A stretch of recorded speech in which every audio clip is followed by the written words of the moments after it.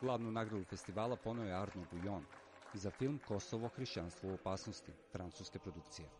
Taj film je zaista dirljiv. To je, to je film koji pokazuje bez politike, bez krupnih reči, svakodnevni život meštana enklava, sveštenika, monaha i oni govore jednostavnim jezikom o svojim svakodnevnim problemima i moji prijatelji francuzi nisu mogli da veruju da je tako nešto moguće početkom 21. veka u Evropi, jer o tome skoro niko ne priča e, u Francuskoj i kad vidite jedan film, kad imate jednu sliku kad čujete jednog monaha, jednog sveštenika ili jednog običnog čoveka koji živi u nehumanim uslovima, onda svakako vas to dira i, i pogledate onda na dešavanja, na realnost iz nekog drugačijeg ugla nego kao, kao i, i ljudi zaista preispituju svoje ranije mišljenje o toj situaciji.